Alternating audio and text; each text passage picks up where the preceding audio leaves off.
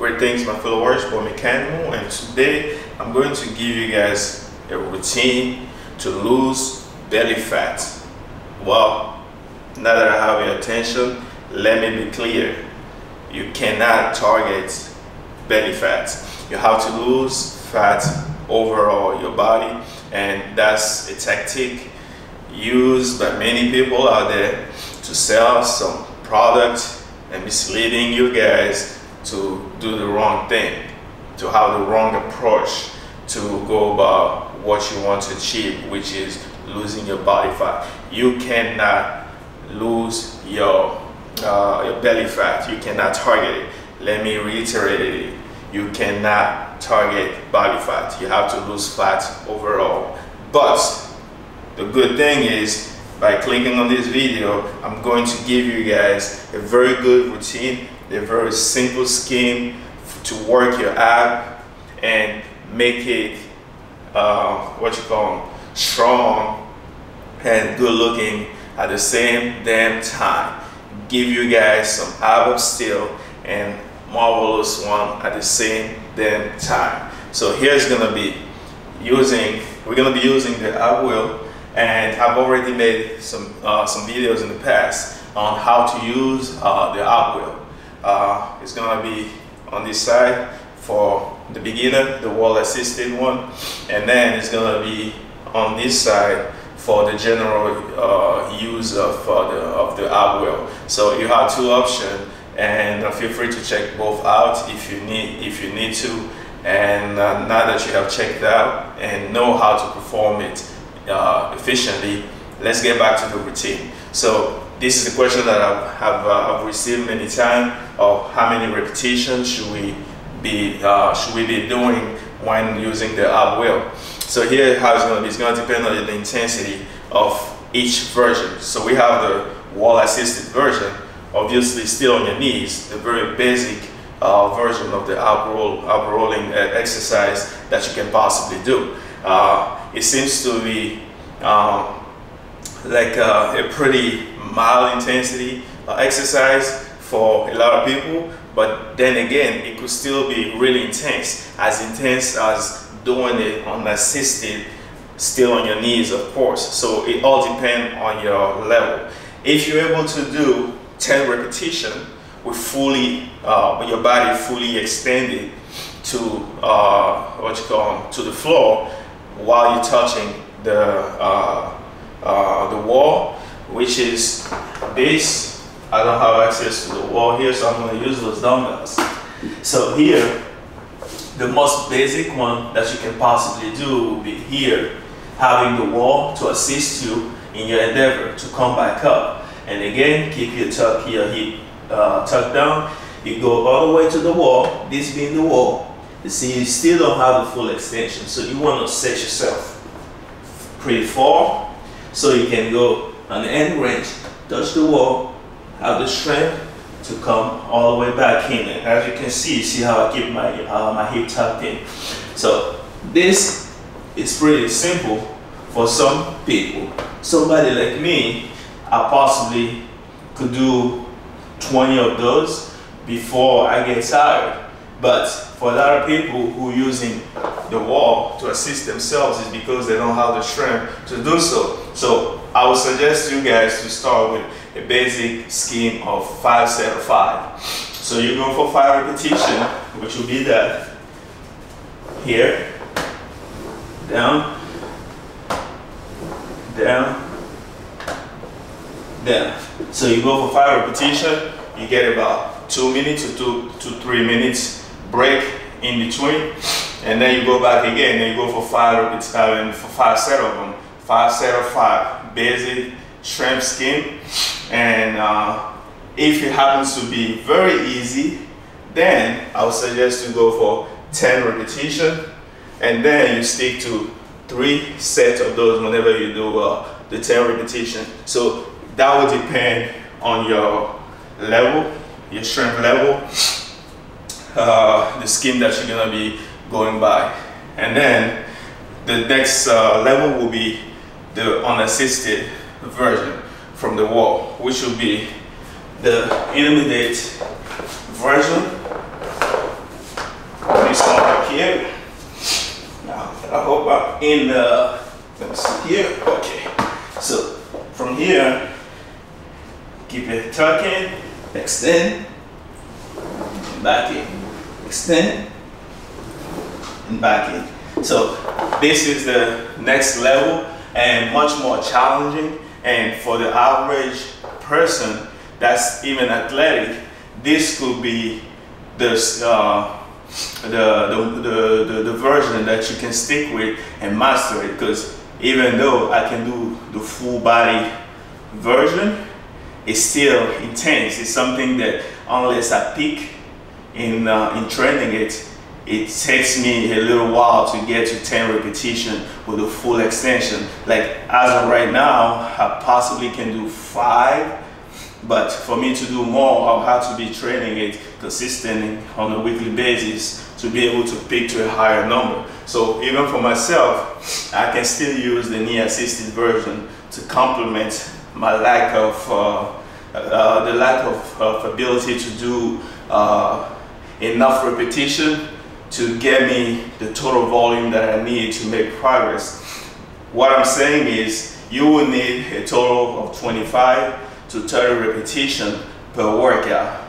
And a workout should be sufficient for the week. Or if you're one of those who uh, need feel the need to do more of that even though I would not suggest you can go for another uh, another session.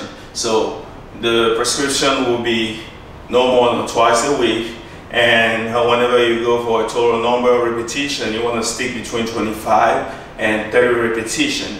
And then set wise depending on the intensity of the movement that you choose to go by you want to stick to five set of five. If it's a mid uh, like a higher end of the mid intensity or you want to go for three set of 10 if it's something that's fairly easy and you start feeling the burn after maybe seven and eight repetition and you have to squeeze out maybe some extra you know two repetition to get the work that needed. So it's just um, uh, it's not black and white and it will all depend on your your, your strength level.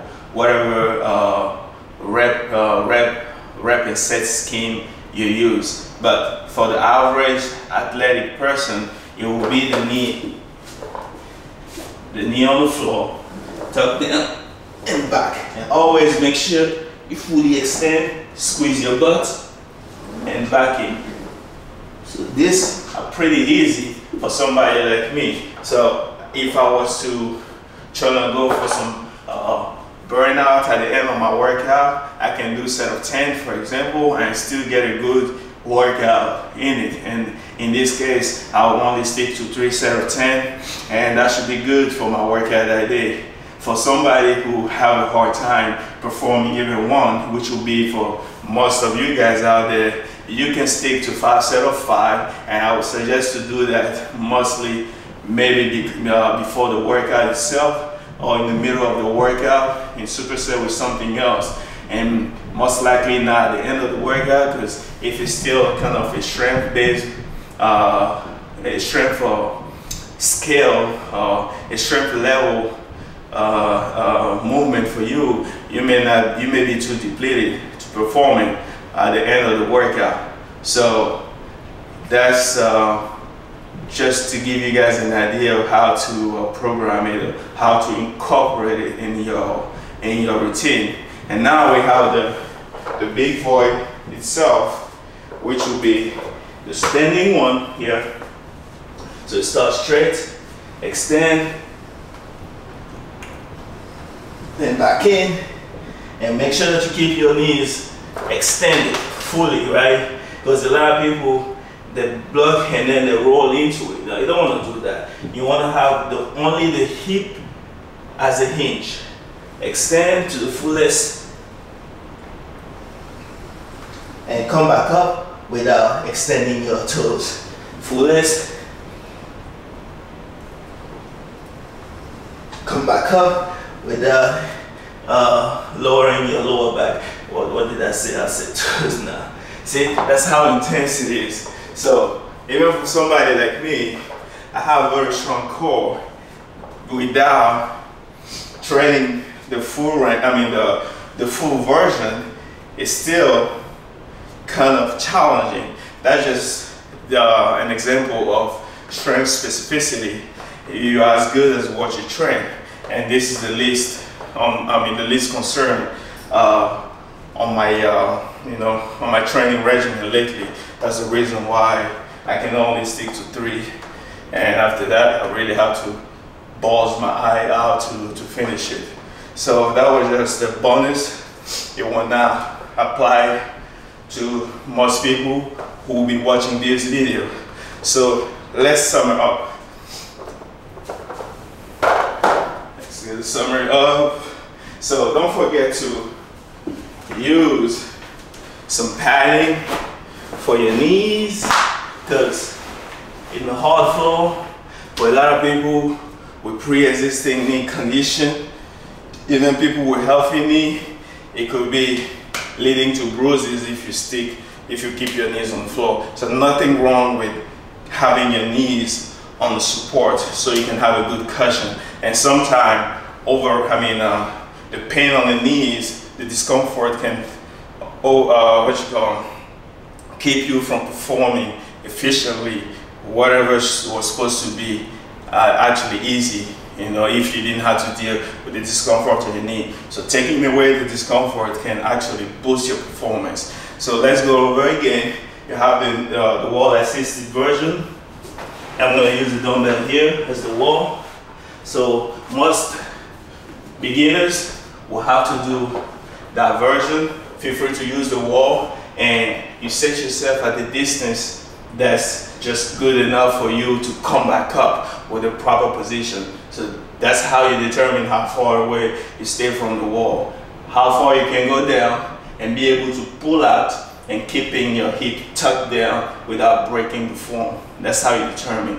And depending on your level, you will do five set of five. If the five repetition, I mean, if it's something that's still intense for you to do, or you can go for three sets of uh, 10. So that will be something as such. Here. Good. Tuck in, boom. And bring it above your, your tummy in a way that your wrist, elbow, and shoulder align. So right there, you go. So for this, could go forever, but for somebody with no core integrity uh, necessary to perform it, will have to really struggle to do so. So uh, for somebody on an intermediate level, you could go for uh, three set of 10. For a very, very, very beginner, you probably have to stick to five set of five. Set the wall away from yourself in a way that you can come back, pull out in the perfect position. For the next level, on assisted version, still the same way, tuck back down here, roll, pull, roll, pull. And make sure that the end range, you fully extended and fully bringing it. Fully extended, fully bringing it. Shoulder hinging, hip staying there. That's that. Five set of five for the average person who is just getting started. You know, for the average athlete who is just getting started. Um, the use, I mean, uh, the use of the ab wheel and uh, not really comfortable with it. And three set of 10 for somebody who's already, uh, uh what you call, used, used to it, habitual user of uh, the ab roller. And for somebody like me, I can still use the knee assisted version because the standing version is really, really a hard uh, feat of strength as I cannot do five consistently. So that's that. You have three set of 10 or five set of five, depending on your strength level. I hope that was useful. And uh, yeah, this is basic routine that can help you lose belly fat. Again, no, you can't target your belly fat, but I can create you some abs still so marvelous that you can see your six packs true shirt. Don't you want to have the type of, uh, you know, uh, this type of bulgy and strong abs to the point that you don't have to be walking around shirtless before somebody knows that you have some uh, imperial abs. And uh, as a frequency, no more than twice a week. Once a week should be sufficient. Uh, you want to push it, you feel a little bored, you want to have more work in your abs. I don't know what else you're training. Maybe you can do it twice a week, but I would say that's just more than enough because a lot of time uh, you work, I mean, all the compound movements you're doing in your workout are more than sufficient to give you the ab work and the core stimulation that you need. I'm not a big fan of core work. I just, I, I use it really sparingly and uh, as everything else that you use, especially in gymnastic work, require your core to be active. And I don't feel like there's any need to really kill it more than it is already to uh, be able to achieve uh, great results. So I will stick to once uh, rep range of 25 to 30 repetition altogether, um, once to twice at the max uh, per week, and that should do it. So that's that, a good routine for to build some marvelous ab still and uh, lose belly fat, quote unquote. Uh, that's that.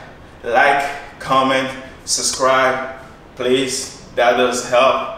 And uh, be on the lookout for more content. Peace. Oh, everything is and will always be the Mikhail way. Salute.